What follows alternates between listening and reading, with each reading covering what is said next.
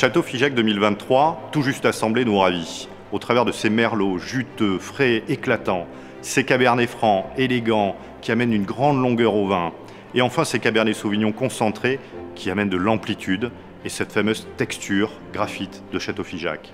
Château Figeac 2023, 41% merlot, 27% cabernet sauvignon, 32% cabernet franc.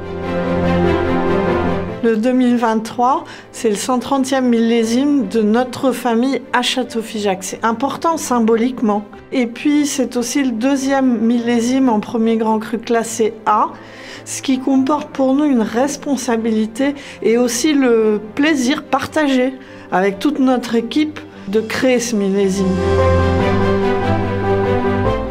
2023, c'est le troisième millésime que nous vinifions dans les installations que vous voyez derrière moi. C'est très intéressant de voir comment on peut, grâce à des outils très très variés, s'adapter à ce que nous apporte la nature. Et chaque micro-parcelle peut être vinifiée de façon séparée. On a un outil qui est effectivement assez esthétique, mais surtout technologiquement très intéressant pour apporter la finesse, la délicatesse et aussi le détail dans toute la vinification. Donc c'est un plaisir pour nous de travailler ici.